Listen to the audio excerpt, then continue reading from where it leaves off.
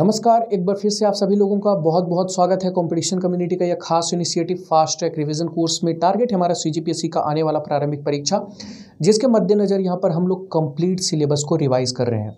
शुरू करेंगे, लेकिन उससे पहले तीन महत्वपूर्ण बातें हैं आप लोगों के लिए, उससे जल्दी से बता देता हूँ, उसके बाद हम लोग आगे बढ़ते हैं। सबसे पहली बात ये कि जो आप लोगों का अभी शेड्यूल चल रहा है, सुबह आठ बजे आप लोग इंडियन जोग्राफी के क्वेश्चन कर रहे थे, शाम को पाँच बजे आप लोग नेशनल करेंट अफेयर और रात को आठ बजे आप लोग सी तो सोमवार से ये शेड्यूल थोड़ा सा परिवर्तित हो जाएगा। सुबह आठ बजे आप लोग अब इंडियन ज्योग्राफी के क्वेश्चन की जगह आप लोग इंडियन हिस्ट्री के क्वेश्चन निखत मैम के साथ में करोगे। उसके बाद आने वाले सोमवार में आप लोग सुबह आठ बजे इंडियन हिस्ट्री की जगह में वहाँ पर आप लोग इंडियन इकोनॉमी के क्वेश्चन करोगे। तो ध्यान रखिएगा, बस थोड़ा सा परिवर्तन हो रहा है। सुबह आठ बजे इंडियन ज्योग्राफी के क्वेश्चन के जगह पे आपको वहाँ पर इंडियन हिस्ट्री के क्वेश्चन मिलेंगे। शाम को पाँच बजे वैसे ही हम लोग नेशनल करेंट अफेयर के कुछ इंपॉर्टेंट क्वेश्चन करेंगे और रात को आठ बजे आप लोगों को इस हफ़्ते भी सी के इंपॉर्टेंट क्वेश्चन ही मिलेगा और आने वाले हफ़्ते में अगर ये पोर्सन कंप्लीट हो जाता है तो हम लोग नेक्स्ट कुछ इंपॉर्टेंट सब्जेक्ट्स को वहाँ पर ऐड करेंगे। तो ये हो गई पहली बात। दूसरी महत्वपूर्ण बात ये है कि अगर अभी तक आपने F T R mega test का रजिस्ट्रेशन नहीं किया है तो एक बार फिर से बोल रहा हूँ, जल्दी से आप लोग F T R mega test का रजिस्ट्रेशन जो है वहाँ पर जाकर कर लें। टेलीग्राम पे भी लिंक अवेलेबल है, वेबसाइट पर भी विज़िट कर लें कॉम्पिटिशन कम्युनिटी डॉट कॉम पर। वहाँ पर सारी इन्फॉर्मेशन अवेलेबल है। इस F T R mega test से रजिस्ट्रेशन आप लोग ज़रूर करवा लीजिएगा। रजिस्ट्रेशन बिल्कुल मुफ़्त है। ऑफलाइन सेंटर आपको रायपुर और दुर्ग मिल रहा है। और ऑनलाइन देना चाहते हो तो ओवरऑल इंडिया में कहीं से भी आप दे सकते हो। तो इस एफटीआर टेस्ट से ज़रूर ज्वाइन कर लीजिएगा। हज़ारों बच्चों के बीच में आपकी स्थिति को बेहतर तरीके से जांचने का एक अवसर प्रदान कर रहा है एफटीआर का यह मेगा टेस्ट इसके अलावा एक इंपॉर्टेंट बात और मैं आप लोगों से कहना चाहूँगा, जैसे मैंने बोला था संडे को आप लोगों को इकोनॉमिक सर्वे के इंपॉर्टेंट क्वेश्चन करवाए जाएँगे। पिछले संडे भी दो इंपॉर्टेंट वीडियोज़ आप लोगों को मिलेगा मिला था सुबह आठ बजे और रात को आठ बजे। उसी तरह से इस संडे भी आप लोगों को आकाश सर के साथ में मिलेगा। सुबह आठ बजे आप लोगों को और रात को आठ बजे इकोनॉमिक सर्वे के क्वेश्चन इंपॉर्टेंट क्वेश्चन रहेंगे। तो आप लोग इसको ज़रूर कीजिएगा। कल आप लोगों को वीडियो सुबह आठ बजे और रात को आठ बजे मिलेगा। और एक महत्वपूर्ण बात ये है कि जैसे मैंने बोला था कि छत्तीसगढ़ करेंट अफेयर आप लोगों को कब तक पढ़ना है या फिर करेंट अफेयर आप लोगों को कब तक पढ़ना है? तो मैंने बोला था कि 10 जनवरी से 15 जनवरी तक के करेंट अफेयर्स को आप लोग अपडेट करके चले जाइएगा। वैसे तो चांसेस हैं कि दिसंबर तक ही करेंट अफेयर आएँगे, लेकिन कई बार आपसे यहाँ से भी क्वेश्चन बन जाते हैं हाल फ़िलहाल वाले। तो रिस्क क्यों लेना तो आप लोग पंद्रह जनवरी तक के करेंट अफेयर को कवर करके चले जाइएगा और नहीं तो दस जनवरी भी सफिशियंट होगा। मुझे भी एक वीडियो अपडेट करवाना है, छत्तीसगढ़ करेंट अफेयर वाला वीकली और जो नेशनल करेंट अफेयर वाला वीकली है, उसको भी एक बार अपडेट करवाना है। इस हफ़्ते मैंने नहीं करवाया है, ये मैं आप लोगों के ऊपर में छोड़ देता हूँ, आपकी मेजोरिटी के ऊपर में। आप लोग बता दीजिए, आपके सामने तीन ऑप्शन है।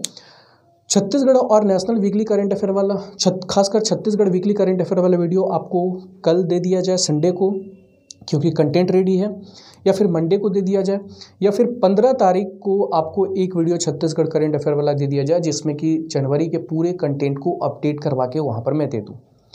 तो ये मेजोरिटी आपके सामने तीन ऑप्शन है, आपके सामने एक रविवार दूसरा सोमवार और तीसरा पंद्रह तारीख को। तो आप लोग नीचे कमेंट करके बता दीजिएगा कि वो वीकली करेंट अफेयर वाला, छत्तीसगढ़ वाला जो इसमें जनवरी को पूरा अपडेट करवा के मैं दे दूँ, वो आपको कब चाहिए?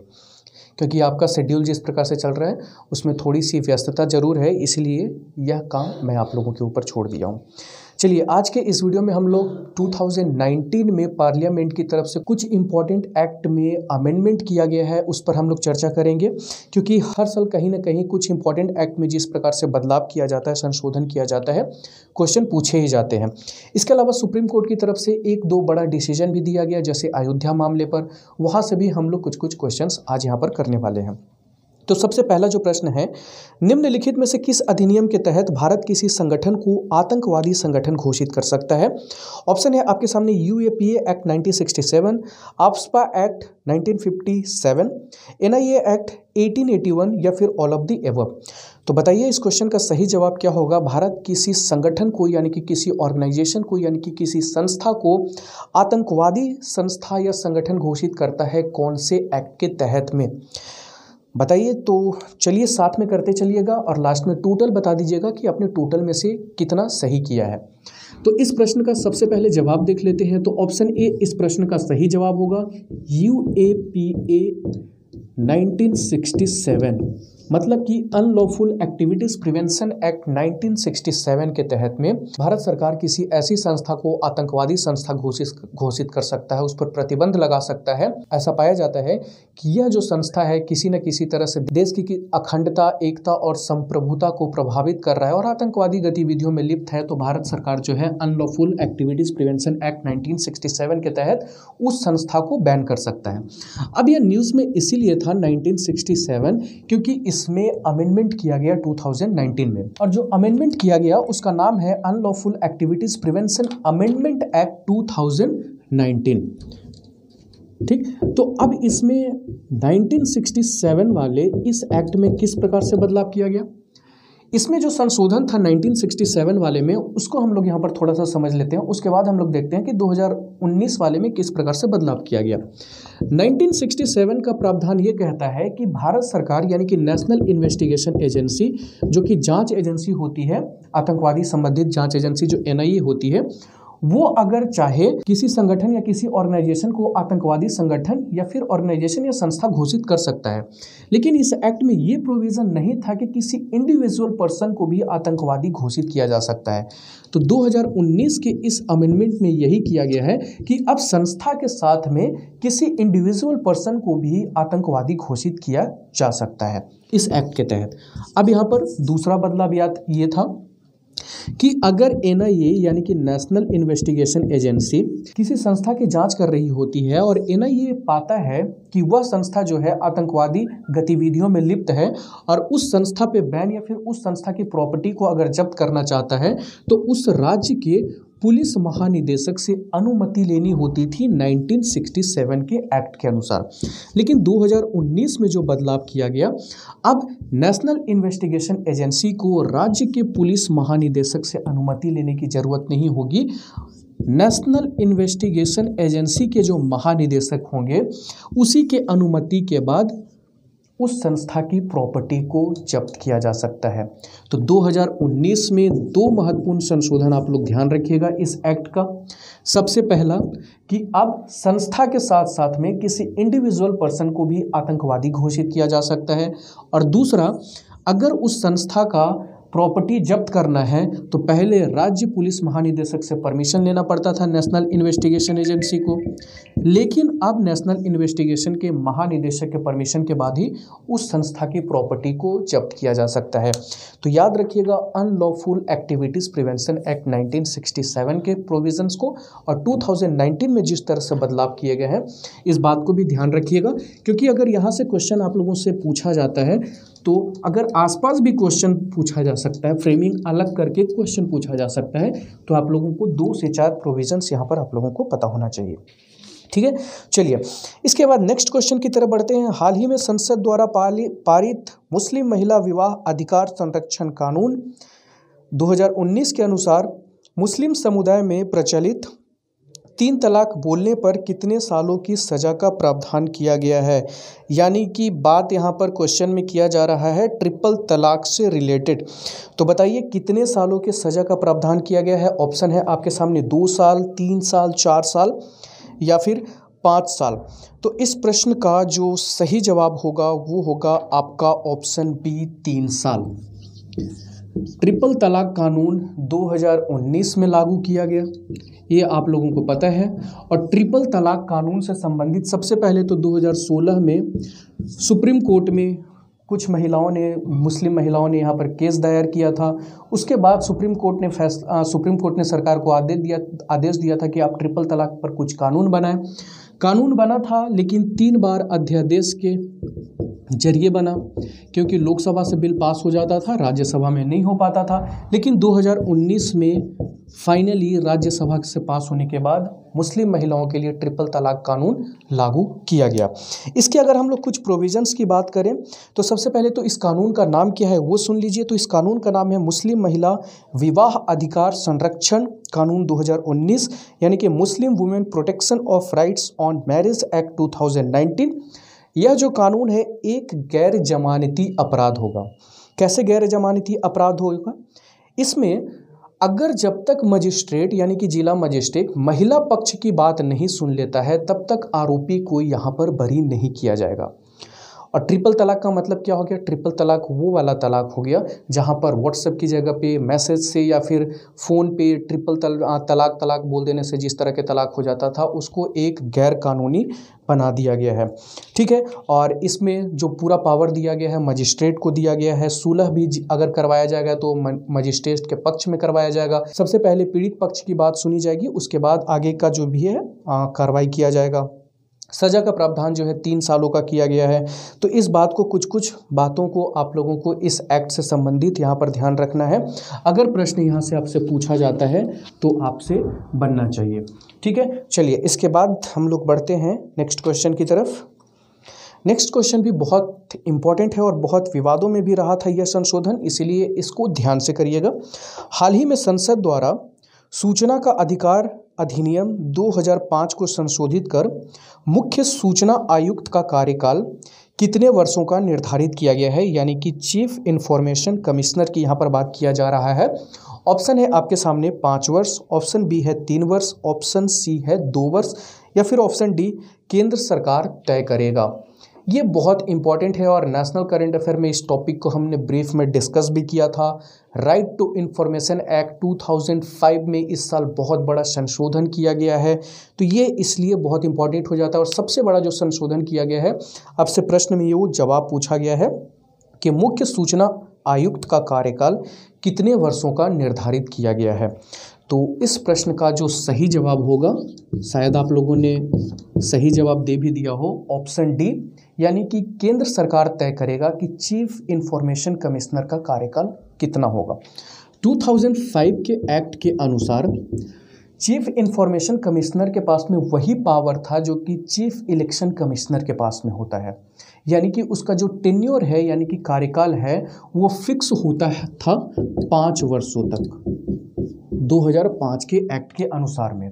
यानी कि अगर उसको हटाना है तो आप महाभियोग से, यानी कि दोनों हाउस में, राज्यसभा और लोकसभा में स्पेशल मेजोरिटी से महाभियोग पास करवाने के बाद ही उन्हें हटा सकते थे। पाँच वर्षों तक का तक का था। जैसा मैंने कहा ना, कि जो पावर आप चीफ इलेक्शन कमिश्नर को दिया हुआ था, वही पावर चीफ इंफॉर्मेशन कमिश्नर को भी दिया हुआ था, जिसमें अमेंडमेंट करके अब यहाँ पर चीफ इंफॉर्मेशन कमिश्नर के पावर को कम कर दिया गया और उनका जो टेन्योर होगा वो केंद्र सरकार निर्धारित करेगा कि वो उस पद पर कितने साल तक रहेंगे। ये हो गया पहला अमेंडमेंट दूसरा बड़ा अमेंडमेंट ये था कि जो पहले चीफ इंफॉर्मेशन कमिश्नर को जो सैलरी दिया जाता था और वेतन दिया जाता था, जैसे सपोज़ मान लो कि ए नाम का कोई व्यक्ति है, जिसको अपॉइंट करना है चीफ इंफॉर्मेशन कमिश्नर लेकिन ये पहले से किसी पद पर काबिज है। तो जब ये पद पर इस्तीफा देगा या फिर रिटायर होगा तो यहाँ पद पर उसको सैलरी ये पेंशन के तौर पर मिलेगा कुछ पैसे। और जब यह चीफ इंफॉर्मेशन कमिश्नर बन जाएगा तो यहाँ पर जो इसको सैलरी मिलेगी, यानी कि यहाँ पर जो इसका सैलरी निर्धारित है, यहाँ जितना पेंशन मिलेगा, उसको काट कर यहाँ पर इसको वो सैलरी दिया जाएगा। सपोज़ इसको यहाँ पर तीस हज़ार रुपये का पेंशन मिल रहा है, ठीक? अब यहाँ पर मान लो इसको सत्तर हज़ार रुपये की इसकी सैलरी है। तो अब जो यहाँ पर इनको सैलरी मिलेगा, वो फोर्टी थाउज़ेंड का मिलेगा। 2005 के एक्ट के अनुसार। लेकिन जो इसमें अमेंडमेंट किया गया है, इसके अनुसार इनकी सैलरी, वेतन, भत्ता, हर कुछ केंद्र सरकार निर्धारित करेगा। तो राइट टू इन्फॉर्मेशन एक्ट इस साल बहुत विवादों में रहा था। यह जो संशोधन किया गया था तो इसीलिए राइट टू इन्फॉर्मेशन एक्ट 2005 और जो अधिनियम राइट टू इन्फॉर्मेशन एक्ट 2005 और आपका जो अमेंडमेंट किया गया है 2019 में, इसको बहुत ध्यान से कर कर आप लोग यहाँ पर जाइएगा। इसके अलावा राइट टू इन्फॉर्मेशन से संबंधित ही एक और यहाँ पर क्वेश्चन करते हैं। प्रश्न है आपका, उच्चतम न्यायालय के फैसले के अनुसार किस कार्यालय को आरटीआई यानी कि राइट टू इन्फॉर्मेशन के दायरे में रखा गया है? प्रधानमंत्री कार्यालय, सीजीआई कार्यालय यानी कि चीफ जस्टिस ऑफ़ इंडिया कार्यालय, राष्ट्रपति भवन या फिर सीबीआई कार्यालय। तो इस प्रश्न का आपका सही जो जवाब होगा, वो होगा ऑप्शन बी, यानी कि चीफ जस्टिस ऑफ़ इंडिया के ऑफ़िस को आरटीआई के दायरे में लाया गया है और ये फैसला हाल ही में खुद सुप्रीम कोर्ट ने लिया है। एक्चुअली हुआ क्या था कि 2010 में दिल्ली हाई कोर्ट ने एक फैसला दिया था। इस फैसले के अनुसार सीजीआई का ऑफ़िस यानी कि चीफ जस्टिस ऑफ़ इंडिया के ऑफ़िस को आरटीआई के दायरे में रखा गया था, लेकिन 2010 के दिल्ली हाई कोर्ट के इस फैसले को खुद, दिल्ली हाई कोर्ट के इस फैसले को जो सुप्रीम कोर्ट ने है इस पर रोक लगा दिया था, लेकिन अपने ही फैसले पर पुनः सुप्रीम कोर्ट पलटते हुए यहाँ पर जो चीफ जस्टिस ऑफ़ इंडिया का ऑफ़िस है, उसको आरटीआई के दायरे में लाया गया है। बहुत इंपॉर्टेंट क्वेश्चन है, यहाँ से आपसे प्रश्न बन सकता है, इसलिए ध्यान में रखिएगा। लेकिन यहाँ पर कुछ क्राइटेरिया भी है कि कुछ जैसे देश की अखंडता या फिर कुछ ऐसे फैसले लिए गए हैं जो कि सार्वजनिक नहीं किया जाना चाहिए या या फिर कानून व्यवस्था को प्रभावित कर सकता है तो वैसे समय पर जो सीजीआई है, यानी कि चीफ जस्टिस का ऑफ़िस जो है, वो आपको इन्फॉर्मेशन नहीं दे सकता। तो इस बात को ध्यान रखिएगा अब सी का ऑफ़िस जो है, यानी कि चीफ जस्टिस ऑफ़ इंडिया का ऑफ़िस वो भी आर के दायरे में आ चुका है। चलिए, इसके बाद बढ़ते हैं नेक्स्ट क्वेश्चन की तरफ़। कितने न्यायाधीशों की संवैधानिक पीठ द्वारा अयोध्या विवाद में सर्वोच्च न्यायालय द्वारा फैसला सुनाया गया है? कितने जजों की संवैधानिक पीठ थी, बताइए, तीन, पाँच, सात या फिर नौ? तो इस प्रश्न का जो सही जवाब होगा, वो होगा ऑप्शन बी पाँच जजों की संवैधानिक पीठ द्वारा अयोध्या मामले पर फैसला सुनाया गया। अयोध्या मामला बहुत इंपॉर्टेंट है। लगभग ऐसा माना जाता है कि 500 साल पुराना विवाद है, जिस पर सुप्रीम कोर्ट ने अपना फैसला सुनाया। थोड़ा सा हम लोग अयोध्या विवाद से संबंधित कुछ कुछ इंपॉर्टेंट फैक्ट्स यहाँ पर देख लेते हैं। सबसे पहले समझिए कि बाबर। बाबर कौन था? भारत का पहला मुगल सम्राट था, ये सभी को पता है। और मुगल साम्राज्य का संस्थापक भी बाबर माना जाता है। इसका सेना था, सेनापति था मीर बाकी। तो सम्राट के आदेश पर मीर बाकी ने ऐसा इतिहासकारों का माना है, मानना है कि 1528 में इसने बाबरी मस्जिद बनवाया था अयोध्या में। लेकिन जब बाबरी मस्जिद बना तो बाद में यह धीरे धीरे विवादों में आता गया। बहुत सारे लोगों का ये मानना था कि यहाँ पर जो है हिंदू भगवान भगवान श्री राम का जन्म हुआ था। और दो पक्ष, मुस्लिम पक्ष और हिंदू पक्ष में यहाँ पर विवाद बढ़ता गया। बाबरी मस्जिद टूटी 1992 में उसके बाद यह विवाद और बढ़ता गया। 2011 में इलाहाबाद कोर्ट का फैसला भी आया था, लेकिन इलाहाबाद हाई कोर्ट के उस फैसले को चुनौती दिया गया था। फिर से सुप्रीम कोर्ट में, क्योंकि दोनों पक्षों ने इलाहाबाद हाई कोर्ट के फैसले को मानने से इनकार कर दिया था।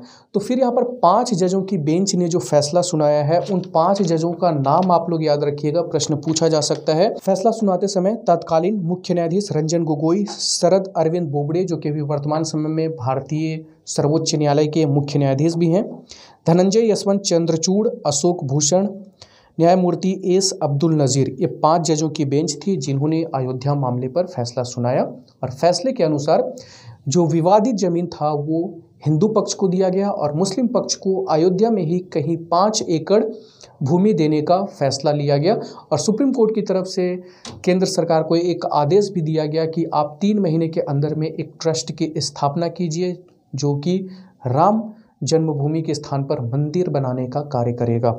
तो यहाँ से आप लोग कुछ कुछ बातों को ध्यान रखिएगा। अगर प्रश्न पूछा जा सकता है, बहुत हद तक तक, बहुत अधिक हद तक चांसेस है कि यहाँ से भी प्रश्न आपसे पूछा जाएगा। ठीक है? चलिए, इसके बाद हम लोग बढ़ते हैं नेक्स्ट क्वेश्चन की तरफ़। तो जो हमारा अगला क्वेश्चन है सिटीजनशिप अमेंडमेंट एक्ट 2019 से संबंधित है। तो नागरिक संशोधन कानून 2019 के अनुसार किन देशों के प्रताड़ित अल्पसंख्यकों को भारत की नागरिकता मिलेगी? ऑप्शन है आपके सामने पाकिस्तान, अफ़गानिस्तान, बांग्लादेश या फिर ऑल ऑफ़ दी एवब तो इस प्रश्न का जो सही जवाब होगा, आप लोगों को पता है कि सी ए यानी कि सिटीजनशिप अमेंडमेंट एक्ट 2019 जो है, अभी तक प्रोटेस्ट चल रहा है और इस पर बहुत बहस भी हो रही है। तो बहुत अधिक तक चांसेस है कि यहाँ से आपसे प्रश्न पूछा जाए तो आप लोगों को पता होना चाहिए। तो इस प्रश्न का तो सबसे पहले जवाब आप लोग सुन लीजिए। इस प्रश्न का सही जवाब होगा ऑप्शन डी पाकिस्तान, अफ़गानिस्तान, बांग्लादेश। ये तीन ऐसे देश हैं जहाँ से अगर कोई 31 दिसंबर 2014 या उससे पहले इन तीन देशों के अगर कोई माइनॉरिटी, वो माइनॉरिटी कौन होंगे? तो माइनॉरिटी हो सकते हैं हिंदू, सिख, बौद्ध जैन पारसी या फिर ईसाई। अगर वो भारत आते हैं तो भारत, अगर वो भारत आए हों तो भारत उनको नागरिकता दे सकता है। अगर वो नागरिकता के लिए अप्लाई करते हैं तो या फिर कहने का मतलब ये है कि उन्हें भारत में शरण दिया जा सकता है। डेट याद रखिएगा 31 दिसंबर 2014 को या फिर उससे पहले, अगर ये तीन देशों से ये छह माइनॉरिटी जिसका मैंने नाम बताया कौन कौन से हिंदू, सिख, बौद्ध, जैन, पारसी और ईसाई, अगर ये भारत आते हैं तो भारत सरकार इन्हें नागरिकता दे सकती है। तो याद रखिएगा, नागरिकता संशोधन कानून 2019 जो कि अमेंडमेंट करता है कौन से एक्ट को जो अगले प्रश्न में हम लोग देखने वाले हैं? तो अगला प्रश्न यहाँ पर देख लीजिए। नागरिकता संशोधन अधिनियम 2019 किस अधिनियम को संशोधित करता है? ऑप्शन है, नागरिकता अधिनियम 1951 नागरिकता अधिनियम 1955 नागरिकता अधिनियम 1989 या फिर नागरिकता अधिनियम 1991 तो ये अमेंडमेंट करता है 2019 वाला जो कानून है आपका, नागरिकता अधिनियम 1955 को। बहुत इंपॉर्टेंट प्रश्न यहाँ से आपसे बन सकता है। लगेगा आपको पॉलिटी का क्वेश्चन है, लेकिन आप समझ जाइएगा, ये करंट में इतना इंपॉर्टेंट इश्यूज़ चल रहे हैं, इसीलिए आपसे प्रश्न में पूछा गया है। तो नागरिकता संशोधन अधिनियम 2019 में जिस तरह से बदलाव किए गए हैं, वो संशोधित करता है आपका नागरिकता अधिनियम उन्नीस सौ पचपन को। ठीक? चलिए, बढ़ते हैं अगले प्रश्न की तरफ़। नागरिकता संशोधन अधिनियम 2019 पूरे भारत में कब से लागू हुआ? ऑप्शन है 12 दिसंबर ऑप्शन बी है 10 फरवरी ऑप्शन सी है, नौ दिसंबर या फिर ऑप्शन डी है 11 दिसंबर। बताइए, बहुत इंपॉर्टेंट क्वेश्चन है, ये आपका लागू हुआ 10 जनवरी 2020 को, यानी कि कल के डेट पर ही इस कानून को जो है पूरे भारत में लागू कर दिया गया है। अगर आपने वार्षिकांक हमारा मैगज़ीन ख़रीदा होगा तो उसमें आपका डेट कुछ और मिला होगा, क्योंकि जिस दिन राष्ट्रपति का हस्ताक्षर हुआ था, उस दिन यह कानून बन गया था। इसको पूरे भारत में लागू कब किया गया तो वो किया गया 10 जनवरी 2020 को। तो मैगज़ीन में जो डेट है, उसको थोड़ा सा वहाँ पर करेक्ट कर लीजिएगा, अगर आपने मैगज़ीन परचेस किया होगा तो। दस जनवरी 2020 को नागरिकता संशोधन कानून पूरे भारत में लागू हो गया। 9 दिसंबर को लोकसभा में पास हुआ था। ग्यारह दिसंबर को राज्यसभा में पास हुआ था बारह दिसंबर को राष्ट्रपति का हस्ताक्षर हुआ उसके बाद यह कानून लागू हो गया और दस जन, जनवरी 2020 को यह पूरे भारत में लागू हो गया। तो ये चार डेट आप लोग यहाँ पर ध्यान रखिएगा। नेक्स्ट क्वेश्चन है राष्ट्रीय नागरिकता रजिस्टर एनआरसी भारत के किस राज्य में लागू किया गया है? हालाँकि बात चल रही है कि पूरे भारत में लागू किया जाएगा इसी बात को लेकर विरोध चल रहा है लेकिन नागरिकता लेकिन राष्ट्रीय नागरिकता रजिस्टर यानी कि national register of citizens Bharat के किस राज्य में लागू है? असम, मेघालय, त्रिपुरा या उपयुक्त सभी? इस प्रश्न का सही जवाब होगा आपका ऑप्शन ए असम। आप लोगों को पता है कि nineteen seventy nineteen forty seven जब भारत भारत पाकिस्तान का पार्टीशन हुआ, उस समय या फिर 1971 में बांग्लादेश को अलग करने, बांग्लादेश अलग से देश बनने का जब मांग किया तो बहुत सारे वहाँ पर जो लोग हैं भागकर भारत में है तो भारत के वहाँ पर असम में बहुत सारे लोग बचे हुए, बहुत सारे लोग वहाँ पर जो हैं, असम में आकर बस गए। तो वहाँ पर असम के लोगों की मांग थी कि इनको बाहर किया जाए। तो इसीलिए 15 अगस्त उन्नीस सौ पचासी में आप लोगों को पता है कि असम समझौता हुआ। उस असम समझौते के अनुसार 25 मार्च 1971 इस डेट के बाद से अगर भारत में जो भी लोग आए हैं, उनको वापस भेजा जाएगा। तो इसीलिए एनआरसी लाया गया था, यानी कि नेशनल रजिस्टर ऑफ़ सिटीजन्स उसके अनुसार हाल ही में जारी भी किया गया कि कौन भारत का नागरिक है और कौन भारत का नागरिक नहीं है। तो ये असम में एनआरसी लाया गया है। फ़िलहाल तो तो इस बात को ध्यान रखिएगा। ऑप्शन ए आपका इस क्वेश्चन का सही जवाब होगा। तो इसके बाद जो नेक्स्ट प्रश्न है, हाल ही में केंद्र सरकार द्वारा किस नए मंत्रालय का गठन किया गया है? जल शक्ति मंत्रालय, अंतरिक्ष मंत्रालय, प्रदूषण नियंत्रण मंत्रालय या फिर किसान निधि मंत्रालय?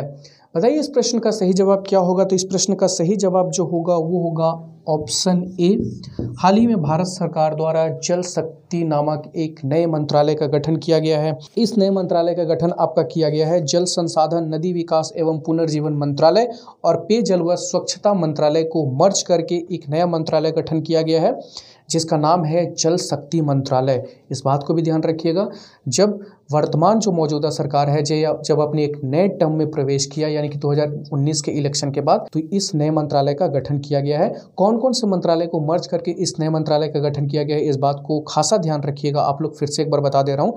जल संसाधन, नदी विकास एवं पुनर्जीवन मंत्रालय और पेयजल व स्वच्छता मंत्रालय, इन दोनों को मर्ज करके आपका जल शक्ति मंत्रालय गठन किया गया। और इस जल इस जल शक्ति मंत्रालय के पहले मंत्री के रूप में किन्हें नियुक्त किया गया तो ये हैं गजेंद्र सिंह शेखावत और राज्य मंत्री का दर्जा दिया गया है इस मंत्रालय का रामलाल कटारिया। इस बात को ध्यान रखिएगा, यहाँ से इंपॉर्टेंट क्वेश्चन प्रश्न आप इंपॉर्टेंट है, आपसे यहाँ से भी प्रश्न पूछा जा सकता है। चलिए लास्ट प्रश्न में एक बहुत इंपॉर्टेंट क्वेश्चन है आप लोगों के लिए। वर्तमान समय में भारत में राष्ट्रीय पार्टी का दर्जा प्राप्त राजनीतिक दलों की संख्या कितनी है? ऑप्शन है छः, सात, आठ या फिर नौ। बताइए, इस प्रश्न का सही जवाब क्या होगा? तो मैं आपको बताता हूँ, आपने पढ़ा होगा सात। लेकिन 2019 के इलेक्शन के बाद एक पद की संख्या बढ़ गई, राजनीतिक दलों की एक संख्या बढ़ गई और हो गए आठ। ये जो एक बढ़ा, वो कौन था? वो था आपका नेशनल पीपल्स पार्टी, जो कि मेघालय का है और वर्तमान में जो मेघालय के मुख्यमंत्री हैं कनरॉड संगमा इनकी पार्टी है नेशनल पीपल्स पार्टी, जिसको कि राष्ट्रीय राजनीतिक पार्टी का दर्जा दिया गया है। इस तरह से अब भारत में कुल राष्ट्रीय दर्जा प्राप्त राजनीतिक दलों की संख्या आठ हो गई है।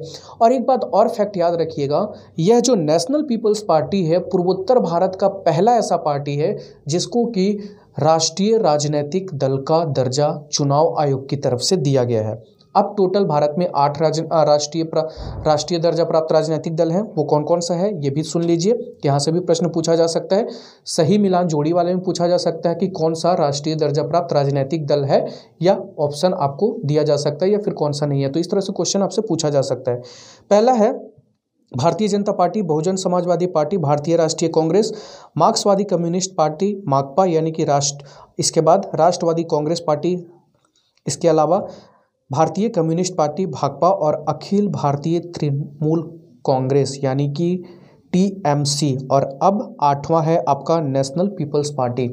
तो इस तरह से आठ जो है, वर्तमान समय में आपका राष्ट्रीय दर्जा प्राप्त राजनीतिक दल हैं, और यह दर्जा कौन देता है? भारतीय चुनाव आयोग देता है।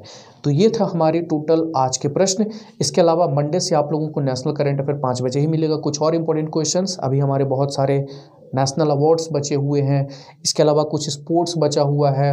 तो सब में हम लोग बहुत सारे क्वेश्चंस को कवर करेंगे, कोशिश करेंगे। आपका सारा नेशनल करंट अफेयर के इंपॉर्टेंट टॉपिक्स को यहाँ पर किसी न किसी तरह से कवर करवाया जा सके। बाकी शेड्यूल मैंने बता दिया, सोमवार से थोड़ा सा परिवर्तन होगा। इंडियन जोग्राफी की जगह अब आप लोगों को उस वीक में इंडियन हिस्ट्री के क्वेश्चन मिलेंगे और आने वाले वीक में आपका इंडियन इकोनॉमी और साइंस एंड टेक के क्वेश्चन भी को इंक्लूड किया जाएगा और सी के क्वेश्चन को भी करवाया जाएगा। और कल आप लोग इकोनॉमिक सर्वे के क्वेश्चंस आप लोग ज़रूर अटेम्प्ट कीजिएगा, सुबह आठ बजे और रात को आठ बजे। तो फ़िलहाल इस वीडियो में इतना ही। Thank you thank you very much C की संपूर्ण तैयारी के लिए कॉम्पिटिशन कम्युनिटी के यूट्यूब चैनल को सब्सक्राइब कीजिए और डेली अपडेट्स के लिए बेल आइकन को प्रेस करना ना भूलें।